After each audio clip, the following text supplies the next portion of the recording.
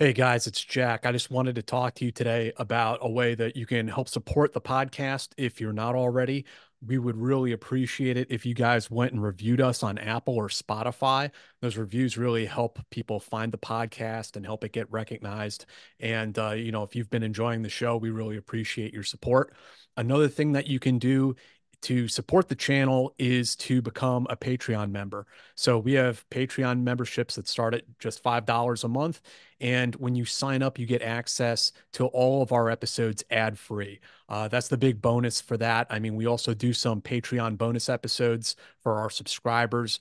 Uh, but this is the the biggest and best way that you can support the Team House channel and podcast uh, if you'd like to and we really appreciate that. So go and check us out at patreon.com slash the team house. Jack, we're delighted to have you. Um, I'm I'm gonna skip the intros today altogether if you guys aren't gonna get too upset, except for uh Jack, who needs no introduction. So you lose an introduction too, Jack. Consider it a compliment. But really, the biggest compliment, and we've never said this to a guest. Um, notice us slavering up front. Um, but please tell us what is just stream of consciousness. Tell us what is first and foremost on your mind right now. Why in the world I'm awake? I knew that was coming. Yeah. In the morning on a fucking Saturday, talking to you guys. I mean, as, I, much, I, as much as I love you guys, yeah, yeah, yeah. Come on, Jack, you're wasting time. I saw Jack. I saw Jack like nine hours ago. yeah, yeah. Dude, that's why you are the mogul who runs this show. Yeah, now exactly. That's how I feel. Now, yeah. All right. Listen, before we start getting complaints from our listeners about wasting time, let's um, yeah, Jack. So yeah, what aside from that, and aside from all the other things that normally trundle through your mind at this time in the morning that our viewers definitely do not want to hear about, um, what have you been writing about? Maybe I should Ooh, Jackson, investigative journalist, everyone, while he's uh, I, I while mean, he's warming up, gathering steam here. Um, I mean, for those of you about, who've been hiding under a rock and don't recognize him. And I, have uh, written a lot of stuff Nazis. lately about. Um, let's see, the special, the international sniper competition uh, just came to an end. Was writing about that. Um, third group, been, the third group logo. Uh, well, the third group logo I haven't written about actually, but oh, but do you want to talk about it very quickly? Yeah, yeah, we can jump in. Or as that. long as you want, but I I'm intrigued. Um, That's why. Yes. So the there's a, a, another. This is me guiding the master in his stream of consciousness. okay, I'm like his yogi. So this whole thing started uh, with a 20th group, 20th Special Forces group published a picture uh, and on the picture, there's a soldier wearing a patch on his helmet. And I want to stop you right there, and I'm going to get complained about, but I want to just reiterate what Jack said.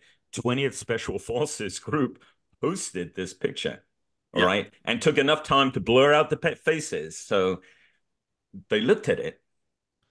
Yeah, and then when when you look at the patch that's on this soldier's helmet, it is uh the the the icon, the the symbol or the the patch of I believe it's the third SS Panzer Division.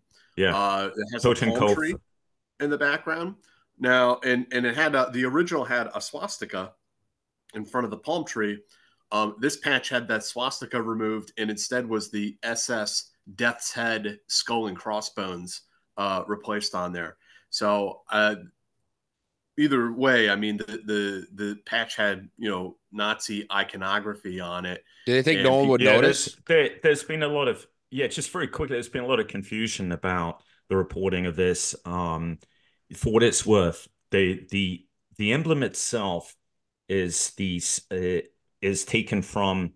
I mean, the skull itself is taken from the emblem of the third Panzer Division. Now, everyone may say a skull is a skull. No, it's particular. It's the angle. It's the expression. Um, it was was unique to the third SS Panzer Division. Why is that a big deal? Well, the third SS Panzer Division was formed from guys who were in the uh, SS uh, Totenkopfverband, Band, which is one of three parts of the SS.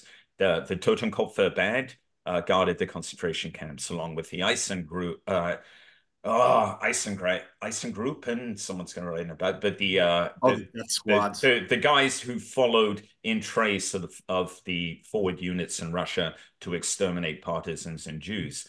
So those those were the the uh, Topin Topin Totenkopf band and the uh, Eisengroup were two parts, uh, two of the three parts of the SS. Third part was the Waffen SS. Anyway, this division uh, committed multiple atrocities. Um, it never served in Africa. So I just want to be clarifying. It's actually a, a what it, what has happened here is a combination of two emblems. One is the Africa Korps, which had a swastika and the palm tree, and the other is the third SS um, Panzer Division, which had just the skull and crossbones. So they've taken both of those, put them together.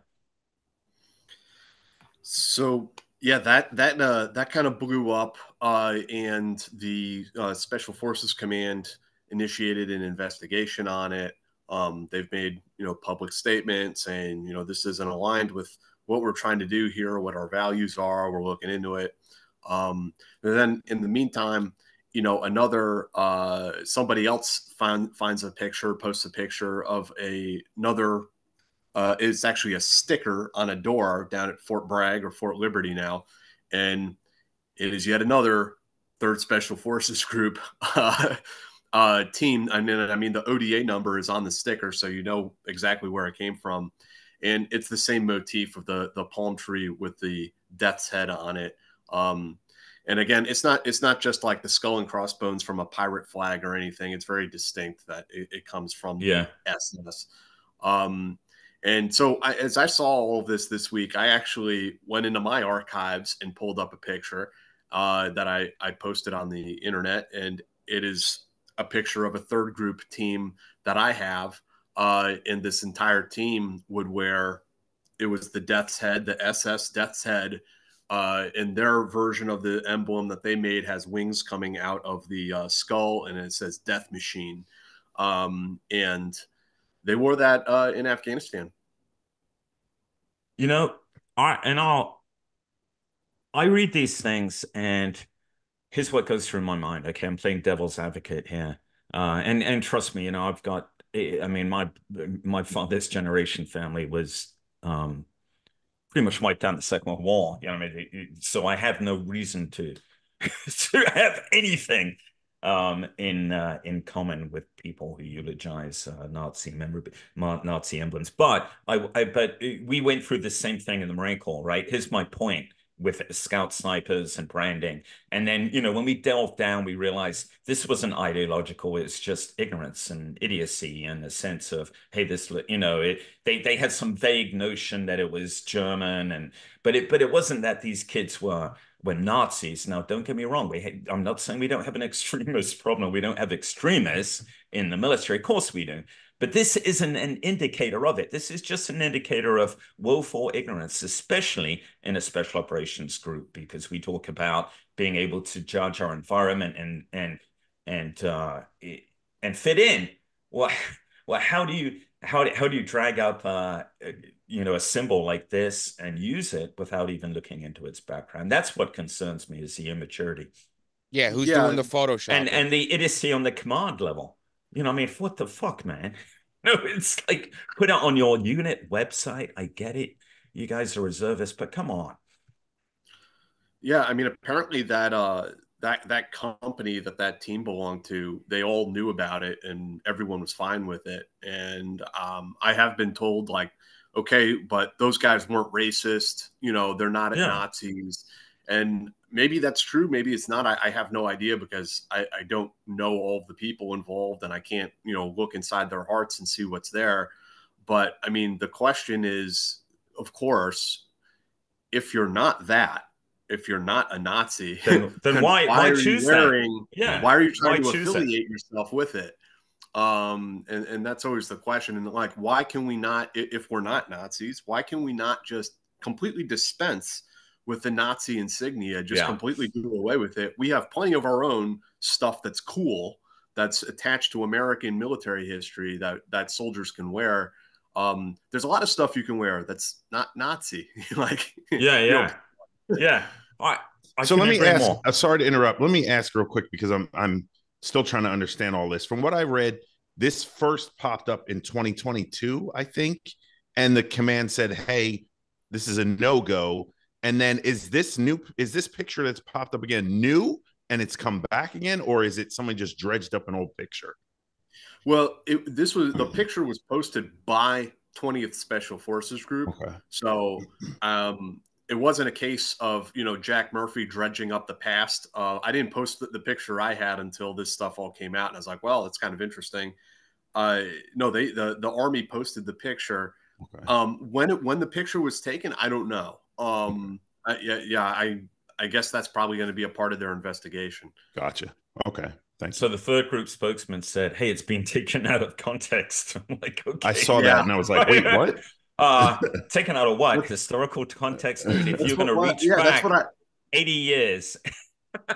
that's what I always ask. Like when people say like it's it's we're taking it out of context, it's like okay, what is the context? What's the context? Yeah. yeah. yeah. And by the way, the, the context, which has become so confused, yes, it was a bad, bad group of dudes. They did, but but they never went to Africa. You know, military. Uh, I think it was the Military Times, military.com reported that it was part of the Africa Corps. It fought under Rommel. Yes, it did fight under Rommel, but in Europe. All right, Rommel for, in the uh, in the battle for France, and yes, they did commit atrocities against Africans. Uh, they they butchered thousands, uh, hundreds, possibly thousands of Moroccan soldiers, uh, but it was in France. Um, but anyway, yeah, that's a minor point. I my feeling is there's nothing to see here. Right, here, my feeling is yes, we have things to see as we dig up what happened on 6 January and and the lamentable number of uh, military personnel who are involved in that you know, um, there's of course there's extremism in military. You guys know all this. What do you expect when you take a cross section of the um, of American society who are not among the most privileged. You know, we always say, even at the height of our recruiting, we're not taking the, we're not getting the top of the high school class. We're not getting the kids um, who are going to go to college with uh, athletic scholarships or academic scholarships. We're getting the guys who are barely, you know, who are struggling eight, 75% of US recruits come from one parent families, right? As an example, that doesn't mean they're bad families. I'm just saying this is the demographic. It's up to the military to change the way they think. And the change the way they think isn't giving them a Friday afternoon, you know, a class on why extremism is bad. It's learning, it's learning to to face hardship and go through all the shit that we have and and having to depend on the dude next to you who doesn't look like you that's what that's what undermines extremism and racism. It's putting units through that type of tough training. They don't have to go to combat. And if we just focused on that instead of all these classes, um, I, I think we'd be on the right path or chasing after logos. You know, hey, absolutely ban it and spank everyone involved for being just stupid beyond belief. But let's not make this an indicator of extremism because it's it's the wrong tree. Yeah, it's always the you know difficult conversation. I mean, sometimes with veterans, but also with civilians to try to like parse out some of the nuances that um, you know. Eh, you're, you're right when you, you point out there there are studies that have been done that show you know extremism amongst uh, military or military veterans is actually a little bit lower um, than baseline and pointing out that you know the military isn't like an incubator for extremism or anything like that. Um, but then if you drill down into the statistics a little bit more, um, you will find like some frightening numbers. Um, you know, people who believe in the white replacement theory. Um, and what is that? Actually, What's the white well, replacement? Whole, well, let me explain it to you. No, I'm just kidding. Go ahead. Go, go for Go ahead, Jason. Let us just... let, let, us know what you're doing to us. yeah, what's your fucking plan, dude? I'll lose my card for this, but I'm just kidding. let me t- seriously though. Um, so one of my Andy, what you were going back to what you were saying. Um, and I am going to predict that this is going to be. Wait, what's the white replacement theory? oh no. no, go on, Chase. Isn't it called the Great Replacement Theory? But we should explain what it is, right? If we mention it. I don't want to mention it because I don't know exactly what it. I haven't it's, been at those meetings. It's just so I don't know. It, it's just a like white supremacist conspiracy theory that's pretty prevalent. That you know, um, I, I mean, I guess the idea goes that we're opening up our southern border to let all of these uh, immigrants, illegal migrants into the country. And it, the idea is that they will demographically displace white people and be a block, a voting block of leftists that will just vote for communism. I oh, I, oh, right, yeah, I mean, kind this, of the demographic, is... the demographic shift that's removing the yeah. base from the yeah. That that time is not on their side. So I'm actually we, quite excited yeah. for that. yeah, me too. Yeah. so yeah, one of my my first uh, going back to what Andy was saying about uh, learning. Um, one of the uh, one of my first roommates in the barracks when I was in the Marine Corps uh, was a kid. I won't I won't say his name, but um, probably about a week or so after we uh, first moved into these new barracks, he just pulled me aside. He's like, "Listen, man, I just need to be honest with you about something. I was raised in a uh, Klan family, you know, KKK, and um, oh, you know, I, this is all really new to me." He said, "Between boot camp and this first, you did, know, did you tell him it was new to you too?" Yeah, exactly. well, oh, come on, man, I'm from the Jersey Shore. You're, it's not. You're my, you're my um, first um, rack mate. Yeah. So we just sat and talked about get it. A picture. Yeah, it wasn't like some hallmark moment. We just talked about it. And at the end of it, I was like, "Listen, man." Are you gonna fucking shoot me in the back when you know when we're in, uh you know when we're out there he's like no said are you gonna have my back when we're out there he's like yeah i was like then i don't give a fuck and that's how it was and we just we got along he never you know he went on to do other things. He moved out of the unit and um we never had a problem with it. And uh, i think like you said if we get away from the whole uh you know here's a everybody do it has to do a stand down on a friday afternoon and yeah. uh, you know just talk about it. I think if people are able to bring their experiences to these things and say, this is what I learned from it, this is what happened, this is what I learned from it, it'll not necessarily work itself out. And like you said, if the bullshit raises its head, whether it's a you know black, white, Hispanic, Asian, whatever it is, slap you know smack the the ones who are the perpetrators and learn a lesson, keep it moving. You know, this once a year talking about it shit is just not going to be. It's not enough. Yeah it kind of feels like very HRy, like very corporate. Like it's checking to, a box. Yeah. Yeah, that's, that's exactly what it is. checking a box. And like none of the information the, gets anywhere. Yeah. Like they literally will hold people's leave until they've gotten this done. You know, they check that box along like cybersecurity and all the other shit. So it just this uh, is it's it's usual is, approach. As of you know, as of zero three zero four hundred hours Zulu, all racism will end. Yeah. in this unit. Sign here. Well, it's it's also the classic like this Afghan AN, ANA unit is going from amber to green. Like you know, it's like very it's a very army thing. Yeah. Oh, and then we're back to then we're back to red again. How'd this happen? Yeah. yeah. New commander. Yeah. And I'm sure we're gonna get smacked on clickbait and you know, why are we being woke with all this? Well, it's it's something that needs Poor Jack. Brother, you know, I, I hate to be that person that talks to the people in the comments, but you need to get over it. This is real. It happened. It needs to be talked about. So if you don't like it, oh well. Go, you know, go follow somebody else. Yeah, Jack, I don't know. What to, Jack, yeah. I was no go go ahead. I, I was saying that I I know we took you down that that path, and and I feel bad now. Maybe you didn't want to go down that path, but it was uh, very interesting. Nevertheless, not well, you know, I mean, the, I mean, the the symbology, the lack of uh, historical context, the fact that we really do have to understand that that Americans don't learn about history in high school or anything, and so uh, for the most part, and uh, but that there is, you know, there is an issue, and we address it, and it's you know not such make such a big deal of it. Yeah, um, yeah, we'll we'll see what happens. Um, yeah, I mean, as you guys uh, maybe implied a little bit, my guess is nothing happens. But yeah, yeah, yeah. It, I mean, it's next, a big storm in a teacup, and then I think next time on. when the whoever's doing the fucking Photoshop, maybe pick other skulls. There's a plethora of them out like, there. Hello, so much easy. All right. Yeah. Jack, what what next? Well, I mean, the Havana syndrome's coming back, and I know Jack's. It's a it's pretty nascent anyway. Like you're still yeah. working on it, but He's writing. we've got uh yeah, we've got our own personal interests with Mark Mark P, mm. who he has Moscow syndrome, but it's very very similar to Havana. Yeah, there is no Moscow syndrome. Incidents is the uh, the term we're using now.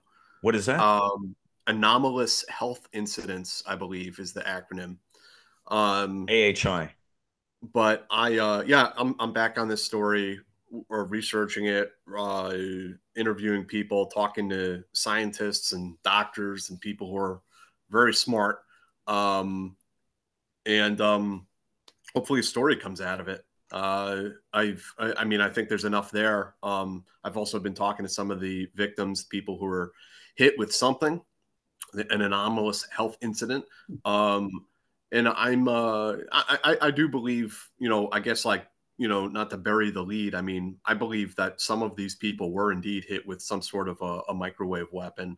Um, and it's just a, again, it's another one of these stories where you have to drill down into the nuances and you have to look at the data, um, look at the scientific studies that have been done on, on the victims. Um, and some, some of these people uh, have very odd abnormalities. Um, that the in the in the MRI machine shows some of those um, abnormalities that I'll have to write about more in depth. Um, so I don't know. It's it's it's an interesting subject. It's a very complicated subject to pick through. Um, so yeah, pour one out. Do we for, have do we have yeah. any numbers and any idea of how many people have been affected with this? I mean, somewhere between two hundred and a thousand. Um, I haven't I haven't seen anything solid. Um, I think there are probably two, I think there's like maybe 220 like people who are sort of like on the books, so to speak, in the as far as the government's concerned. Um, but I mean, at a certain point, this story, you know, the victims, it, the the list expands and gets bigger and bigger and bigger. Mm. And I really don't want to be dismissive of anyone, at, certainly not out of hand, but you do start to wonder are, all of these people really being blasted with something? Um uh and and it's a question of picking through all of that. Yeah. I mean, it, it's like no the burn pit thing right? Yeah. Because i i happen to uh and i call it accidentally fall into x. I i don't know how. And uh, i was reading some of the uh comments about it. And i guess 60 minutes is coming out with the they story, did a story yeah. story. Um about you know uh, revealing some information or whatever but i was reading some of the comments and a ma- big majority of them were saying things that never happened for a thousand dollars and you know just saying it never happened you know it's a bunch of uh, crap and uh, i don't know a whole lot about it but i was just curious if it was like 10 people you know or um, i'm assuming that all of these people probably share in common locations you know, like Cuba, uh, Moscow, stuff like that, or is it spread out all over the globe? I don't want you to tell too much of your information you're gathering. Well, but. here's here, here's like a little like anecdote, and, and there's many there's many anecdotes that that could be shared, but when when uh, people first started getting hit in Havana, um, the there were three CIA agency personnel down there. All three of them get hit and get sent back home. Then they send another three guys to replace them on TDY. Mm. People who have no, they have no idea why the previous crew was sent back home. all three of them. Like that scene hit. in the Big Red One. All, all of those three, the three replacements get hit. They send them back home. They send another three TDYers down there, and they get hit. And now by by this point, you have State Department people who have also been hit down there. You have Canadians who have been hit. So the idea that um, this is some sort of like mass hallucination, mm-hmm. like it's just this like psychosomatic shared hallucination that people are having, is uh, I think ludicrous, and I, I don't think it's supported by the science or the data.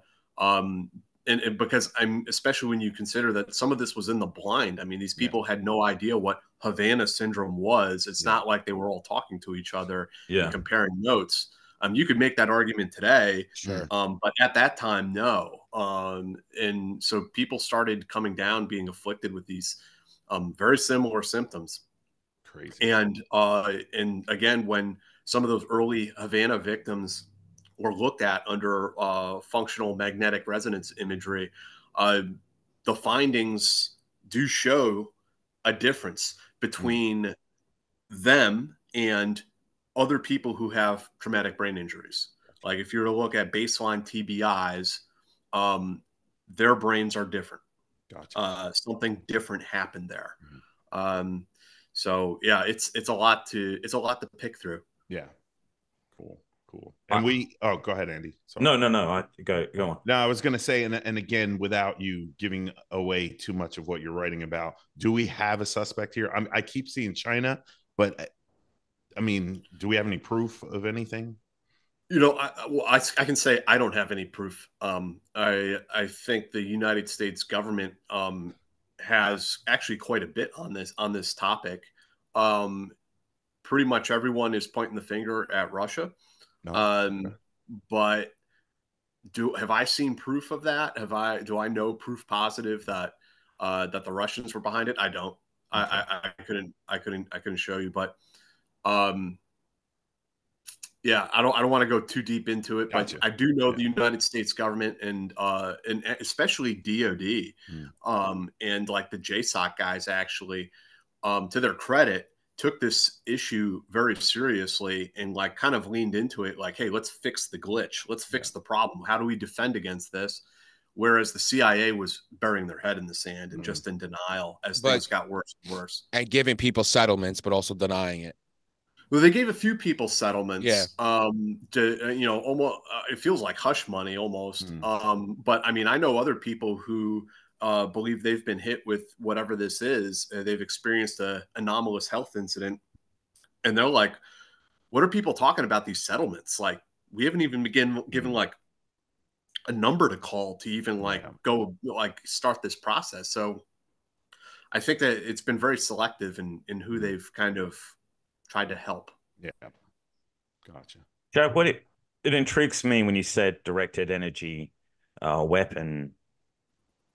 Can you be can you be specific uh, about it? I know you know Mark Mark P talked I, about it a little bit. Uh, I speculation, I can't, but... be, I can't be specific until uh, um, really because we haven't captured a device. As far as I know, yeah. we don't have yeah. Yet. Um, but I mean, can you can you? But, it, I don't mean specific, but can you talk yeah, about yeah. the capability so, a little bit the, for the, the, benefit of?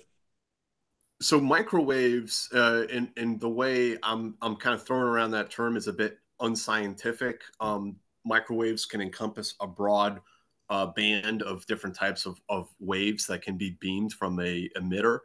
Um, it could be a single point emitter. Uh, it could be um, two. There's one theory that it's two emitters, and then they they cross and they get the the victim in the crossbeam. Uh, from the anecdotal, um, you know, victim statements, it seems like the device is able to target like an entire room or rooms in a uh, in a residence. Um, so, like one guy was telling me about how it hit me in my living room. It was really bad. I went into my bedroom and I tried to like walk it off and pretend it wasn't uh, hurting me. Um, yes, that's the thing, worse. isn't it? The victims can point to, at least for the most part, a a point in time when they when they felt suddenly felt something. Oh, right? absolutely. Yeah, yeah. and absolutely. so it's yes. not like Legionnaire's disease where it comes up later. You know, they all have that one thing in common. It's like, bam, yes. I suddenly felt all askew. And, and, when when when when this particular guy left his he was in his living room in his bedroom, he was getting hit. When he walked into his kitchen, he started to feel better. Hmm. Like uh, the the kind of the pressure was relieved um, that he was feeling. Um, there's, geez, you get me talking about this stuff, Andy. So there, no, I, the, I think the, it's interesting. The, interest, sure the interesting thing, the other interesting thing, I think, is that the United States has this technology. That's um, yeah. That's what I was. That's that's um, what I was um, going to ask next. And and and that's what why it's a little frustrating for the CIA to pretend like, or, or I should say, the the head shed, the seventh floor anyway. Mm-hmm. Um, you know, DST, the D- Directorate of Science and Technology. I'm told in their in their classified assessment, they assessed that there was some sort of microwave beam weapon used on some of these people. Um, but the seventh floor didn't want to hear that. Um, and um, it, it's frustrating for a lot of people that the CIA still pretends that they don't understand what this is or what's happening when we have the exact same technology. Mm-hmm. Um, we have small man portable microwave beam weapons. Um, now, I, I, I have no, um, I have not been able to find any accounts of them ever being deployed and used operationally uh, for uh, a military personnel to turn that device on it requires very high levels of approval and authorization, like up to NSA level, if not beyond, um, even to even to think about turning that thing on. Um, but the point is, we do have it. It yeah. can fire in a, in a in a three to five second burst, and the idea behind it is that you can use it to blow some people out of a safe house. You know, if you got some drones, terrorists, counter counter drone, counter swarm. You can, you, you can hit them with this thing. It makes them very, very uncomfortable. Mm-hmm. You'll have a headache, that sort of thing. Um, and it'll get the guy up and moving around, hopefully out of his safe house, get him on his cell phone, making phone calls. It's a way to uh, coerce the types of behaviors that we might want to see uh, at certain points. Um, so we have this technology. It's not. It's not like some exotic, novel um, technology that is like this uh, a mystery. What is a mystery though is be, we've never and because we have medical ethics laws in America, um, we've obviously never tested this device on human beings. Um, so there are questions about what type of beam do you hit people with that replicates the uh, the the symptoms and and the data uh, that the Havana victims have because we, we don't know exactly how these waves impact the human body. Um, we know that it's different than other traumatic brain injuries. We know that you know a normal microwave will you know kind of give you a sunburn, um, but this is something different. It's they're they're getting through the skull and into the gray matter in your brain, and that takes a different type of calibration.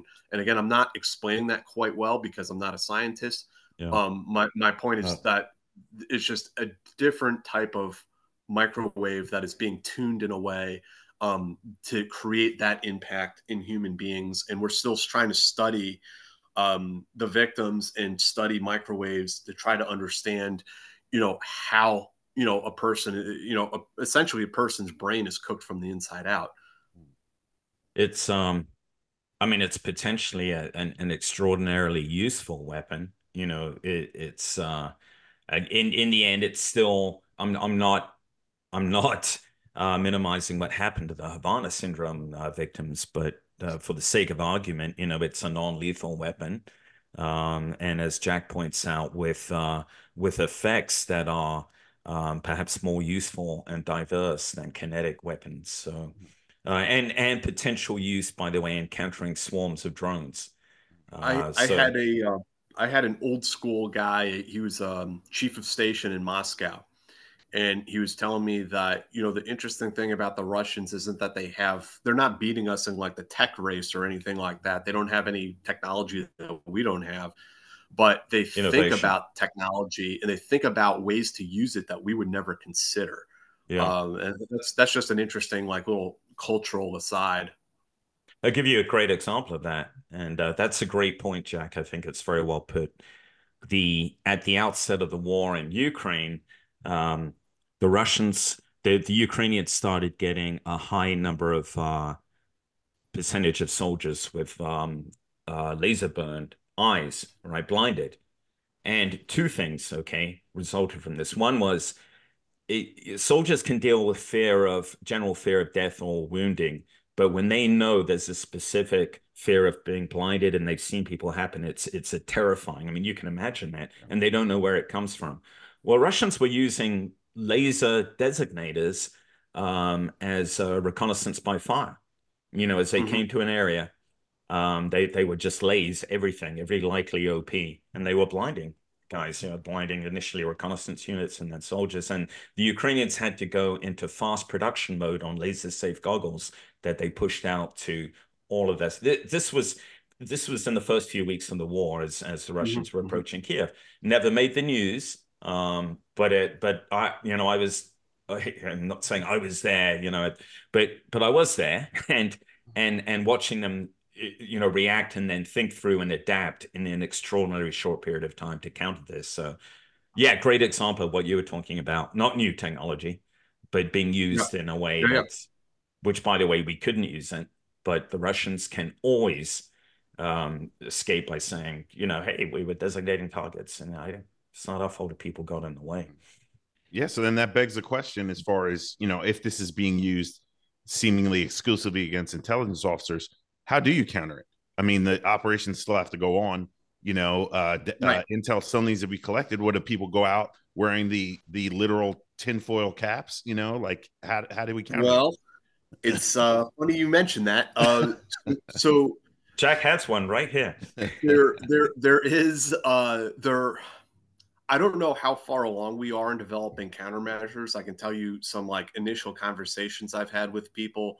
Um, there's one idea is that you know we should have sensors that we can give to our people overseas that they can put inside their residence mm-hmm. and it'll warn them at least you'll have some sort of a warning that something is happening um, i spoke to one person who uh, is an expert in his field and he believes that we can design clothing windows drapes things like that that will actually block these beams he thinks it's possible um, it would take it takes some really high end technology to do it, um, and it, and it's not cheap, mm, but yeah. um, there there are ways to develop countermeasures. And the other the, the not high tech option to to your question, Jason, of course, is retaliation. Mm. Right? If they're if you know it's that that, that scene. Uh, was the, uh, Sean Connery says, you know, they put one of yours in the hospital, you put one of theirs in the morgue. Kind of as, yeah. yeah. Yeah. Uh, so mm. I, I and I think that's that may be actually the reason why the CIA has kind of tried to bury this hmm. um, mm. because they may not want to get into a global tit for tat mm. with the Russians where we're yeah. disappearing people. Yeah. Um, that's a little speculative, um, but I, I, just have to imagine. I mean, if this was real, hmm. okay, mm. if if the Russians were blasting American government personnel with microwaves, the the president could quite clearly sign a covert finding mm. um, because it'll be ruled uh, in it's in self defense and it's directly related to U.S. national security. Yeah. Um, and so he could sign a lethal finding for something like this, like no questions asked, really. Um, I'm not a lawyer, but I mean, as far as how yeah. I understand how the law works, um, they could do it. That's really an interesting theory, and I think there's there's some substance there, Jack. That it's a um, attribution puts you in a corner. I mean, explicit right. attribution. Now, I mean, it was the same thing. Well, yeah, drone, what are you going to do? The drone that that hit Tower Twenty Two. You know, I mean, obviously an Iranian uh, drone, and and yet it we don't, and obviously we know it, but we just and they know it that we know it. But yeah, yeah, it's one of these funny just, things. It's, it's, rules of the game. You know, you don't bring exactly. it Exactly. It's like this funny thing, like, you know, we talked about, you know, sabotage operations in Russia and, you know, the Russians kind of like shrug it off like, oh, whatever, you know, or then, I mean, another example, of course, is the Nord Stream pipeline bombing. Yeah. I mean, we still don't know what the fuck really happened there. Um, but it blew up and, and, like very quickly the governments of like Denmark and Sweden were like, yeah, we're done investigating. Yeah. Like inconclusive, inconclusive. And it's just it's just very funny was, uh, like how, how, we we ignore things we don't want to address. Yeah. Much like it's, a child. I, evidently you know, it just didn't react well to cold weather. We just didn't think about this.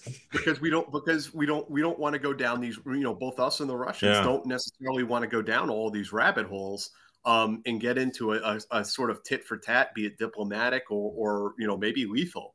Um, so yeah, it's very funny how we we kind of act like you know it's like you know a little kid coming downstairs and you know their mom's like, "Did you clean your room?" And the kid is like, "Yeah, I did." And the parent just doesn't want to know yeah. if they cleaned it or not. You know, you don't want to go upstairs and actually inspect. Uh, it's just a very funny sort of dynamic. We are we we've typically in the past just not been subtle enough to play by rules of the game, but I think you know we are getting there. I think Syria taught us a lot I think it was fortunate that we had mainly a soft footprint in Syria. And so we had to, uh, you know, we had guys who were tuned to that to learn how to coexist uh, in the same area with Russian forces. I'm not saying get along, obviously, know when to draw the line and spank them, but in between that, how to how to you know continue steady state. And where it really where it really comes to the fore is in the middle east right? You know i mean with israel israel hezbollah uh, iran they're all you know israel will kill iranians but outside iran um, for the most part until recently yeah. until recently when they blew up well someone blew um, blew up gas pipelines in Iran. And by the way, there's an behind the scenes there is an extraordinary cyber war taking place mm. um, with with uh, pro-Israel proxies um, doing significant things to Iranian infrastructure. What what made the news with the gas uh, pipelines, but they, that that wasn't. I don't think that was a cyber attack. But anyway, rules of the game. Yeah, subtle, understanding them. When do you when do you need to uh, adhere to them and when to break them? Geopolitics 101.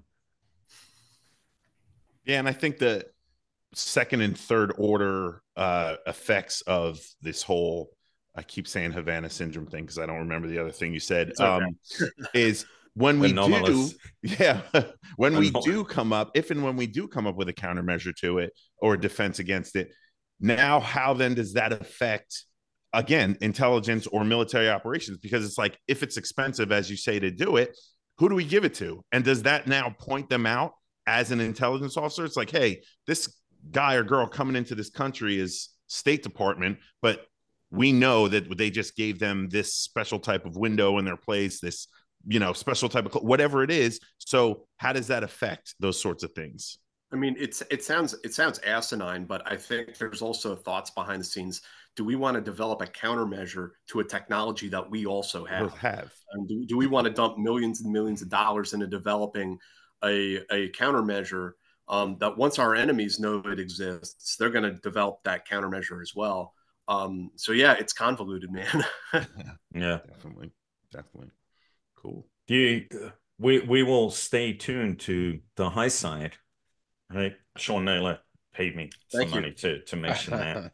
I I am told that your ratings shot up. Jack, please say yes. After our last episode of Eyes On, when you were a guest, but we had astonishingly high uh, number of views because your picture was on the front. But anyway, you will Sean, you will Sean very kindly mentioned that um, subscription rates for the high side went up after that episode, which is good because you should all subscribe to the high side. Absolutely. I yeah, no, thank my you. free subscription. Um, yeah, my my when I finish writing this story about Havana, it'll be on, on the high mm-hmm. side. Um, and there's a few other big projects that Sean and I are working on. Awesome. I I'd like to D, do we we've got a few minutes, right? We've got Jack. I, yeah, we're good. Um Jack's good. Jack, he'll he'll be here all day if we need him. Oh, you No. I won't. Because I'm going no, upstate. Wait, wait. no one contradicts D on this show. Um Jack, what what else? Uh, so first of all, as as our guest, is I I mean I've got a couple of questions for you that but before we get to kind of rummaging around in the garbage, do you have uh, what what do you want to talk about on a more cerebral level? Because invariably, whatever comes out of your mouth is cerebral. With the exception of that one Friday night in uh, where was it? Down by the river in uh, Alexandria. I digress. Go on. What came out of your mouth that night was definitely it is, cerebral. Uh, it is and... way way too early in the morning for me to have cerebral thoughts about anything. Okay. Yeah. What what do you want to? I mean, is there anything anything that's that's a burning topic that you think are the the, the more sophisticated eyes on listeners would would appreciate. More sophisticated as opposed to the team house. Um no i mean that's that's about the gist of it you know. I, have got a question yeah, for you. I don't know if, i've got a question for you. I don't know and this isn't me um delving into prurient garbage but um I am I'm intrigued about what exactly happened with the first group uh, commander, former first group commander, um, and I'll tell you why, Jack. Because uh, for a while that whole case, you, you know, you know the one I mean, became um, within the SOF community. It it was. Uh, and and I, I may be out of date here, but it was portrayed as being, hey, here's what happens when TBI and PTSD is left you know, un, untreated, and this guy had an exemplary record, and then he suddenly went off the rails. And then troubling comments started coming out, and it concerns me when these things happen because I hate for all the fact that because it may have happened badly, you know, uh, in one case, that everyone is painted with that same brush. I worded that very badly, but you know what I mean. Over to you. Um, but there are still people yeah. who eulogize this person and say that it was a case of PTSD. That you know. Well, that was certainly his story, and I mean the the person we're talking about held his family hostage, barricaded inside the house. Yeah, do you want to and... just get, give a quick synopsis of the story? I'm sorry, I, I jumped into. Yeah, it was. uh This is going back a few years, but it was yeah. uh, Owen Ray, and he was uh, the yeah the commander of First Special Forces Group, and then he went on to he was the guy who carried the nuclear football for uh, Obama for a little while, and then his uh, he went on to he was like a chief of staff at I Corps. Um, I believe uh, this is going back a few years, so I'm yeah. sorry my memory a little when, bit. When you read his career, you know, in Apocalypse Now, when uh, um, Willard, Captain Willard is, you guys seen Apocalypse Now, right? Who has not seen yeah. that? Anyway, Captain Willard's going through Kurtz's file, and he's like, it was perfect, maybe too perfect. And it's almost like Owen Ray's record, right? Yeah, yeah. Um, and you know, then yeah, he has this this moment where he uh, holds his family hostage and has an armed standoff with the police. Um, and at, in which will affect your security clearance. In, in the in in the aftermath of all of this, you know, yes, he he tried to blame it on untreated PTSD and TBIs and, and make it, you know, a soldier story about. And I mean, there's a, there's a little bit of a, in my opinion, there's a little bit of narcissism involved in, you know, you're still going through like your court trial here, and you're already out front trying to like, you know, spin this story and, and kind of weave your memoir about a soldier's return home. It's like eh, you're not quite there yet, and I, I think he uh, as I again as I recall, I believe he he did um, catch a conviction in civilian courts and and do some jail time. Yeah, uh, we. I mean, we've had our own cases like this. Senior senior officers. It particularly upsets me when senior officers claim that they have PTSD. Uh, and then you delve into their records and you think, where the hell did they get PTSD? You know, it's um, we we had our own case, uh, a guy named Shane Tomko. Um, actually, you know, we had more than one. Um, very si- similar case. It wasn't holding hostage, but he he did criminal stuff and is now in jail in Norfolk uh, for, among other things, sexual abuse of a minor. Mm, uh, but he made colonel in the United States Marine Corps and was same sort of career. You know, he did time at JSOC, and everyone's like, "Oh my god, poor dude." No, he was a fucking criminal who masqueraded as a Marine officer and made colonel. You know, I mean, not just not just did okay, but but vaulted to the head. So, you know, when we talk about extremism and patches, I think our bigger concern is how we screen officers. Frankly, I mean, we have had. I mean, you just look at the papers across the board. I mean, we we have had a lot of reliefs for things that just shouldn't have yeah. shouldn't have happened. And yeah, those are I the mean, best of the best. Those are guys who get slated for command. You know, I mean, it's eh, there is something fundamentally wrong, and I throw this out for comments for the listeners. Obviously, they, they but I, I can say, um, you know, last time I said, hey, eh, eh, most officers are not warriors. Um, I think that's necessary. The United States military is a big bureaucracy, and I'm fine with that.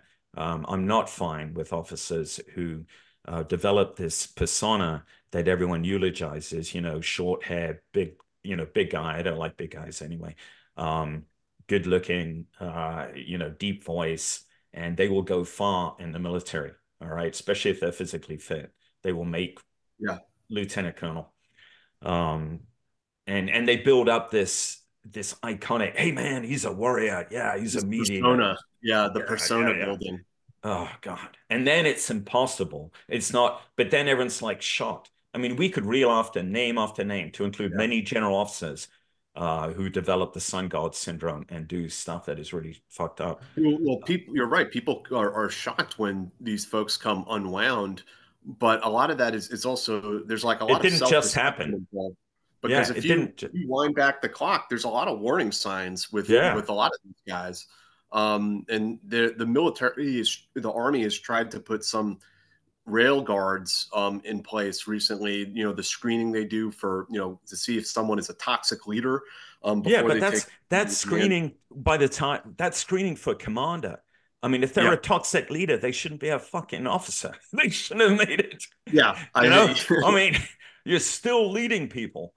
It's like let's wait till they're lieutenant colonel, then we're really gonna screen them out. Like the the dudes who are psychopaths.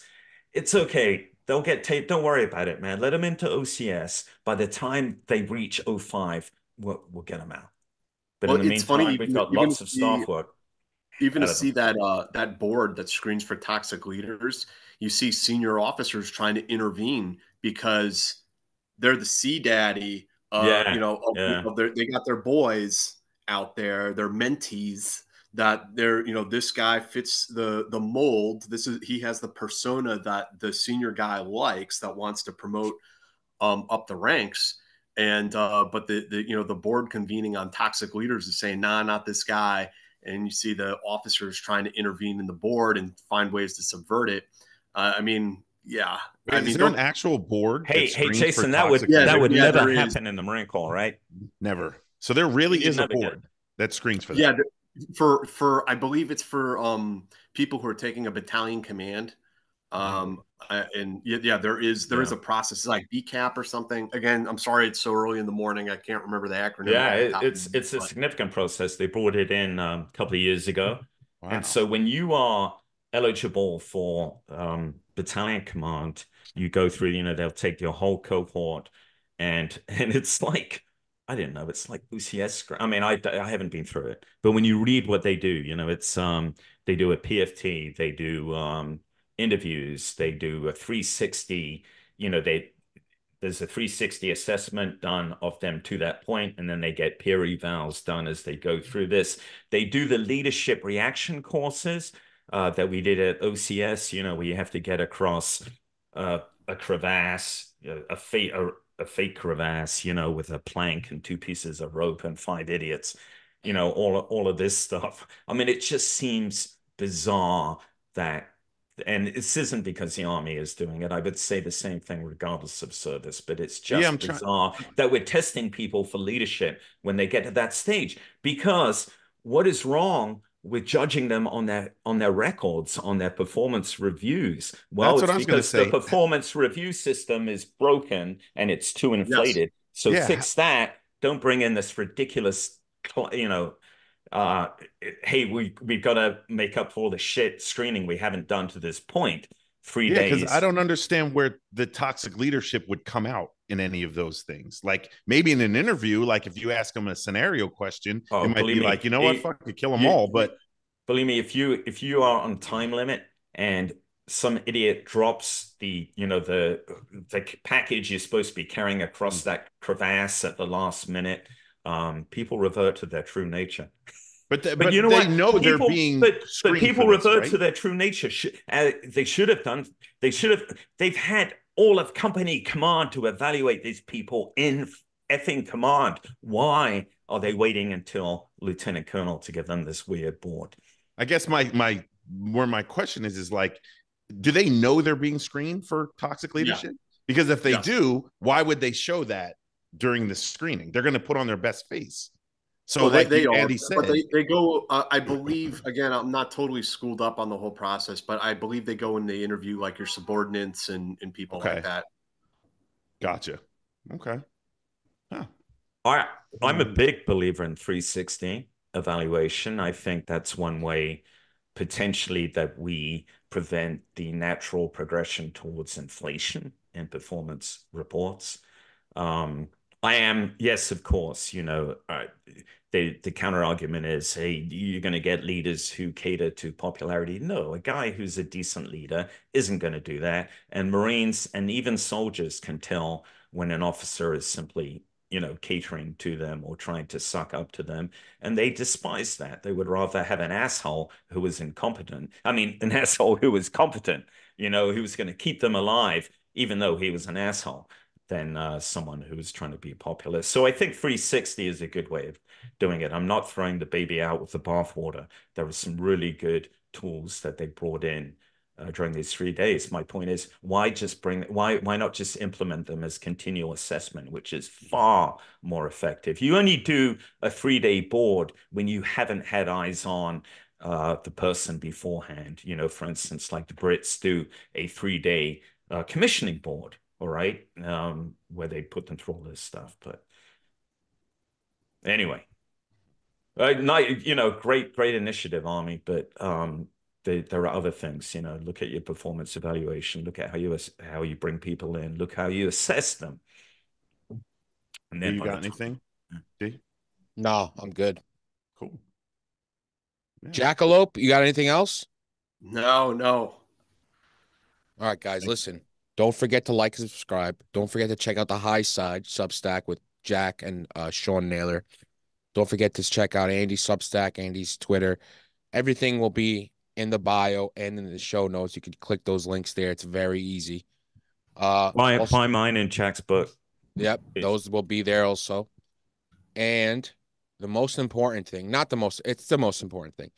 Patreon.com slash the team house. Help support the shows, both Eyes On and the team house. YouTube is screwing us. I don't want to get into it. But I will. Patreon.com slash the team house, please. Thank you. How much is that? It's five bucks a month. That's you nothing. get you get ad free audio and yeah. video. You get a I bonus mean, bonus episodes per month with just the guys shooting the shit answering your questions. You can ha- have your questions answered live on the Team House too. We do uh, give the Patreon subscribers uh, precedence for that. So yeah, there's a lot of benefits, and it also the most important thing is it supports the show. That is, yeah, it's Thanks. something bigger than yourself. Yeah. Five bucks, that's absolutely nothing. Thanks, right. Jack. Appreciate it, brother. Yeah, thanks. Yeah, thanks, thanks, Jack. Andy. Everyone.